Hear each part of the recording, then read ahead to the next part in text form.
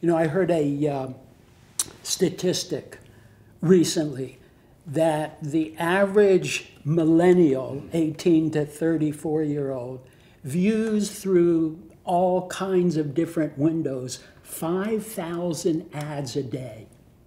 So, what do you do to manage that much information? So, what improv does, it gives you the tools to analyze and evaluate because you're doing that on the fly all the time. And because it is a performance based art form, you are also creating as you improvise. You are telling your own stories in that process of group creativity. So, uh, at the USC Annenberg School, the Innovation Lab, I was put together with these people, and it turns out that things they are studying and trying to uh, evaluate and codify themselves about 21st century learning and media literacies are exactly what improv does.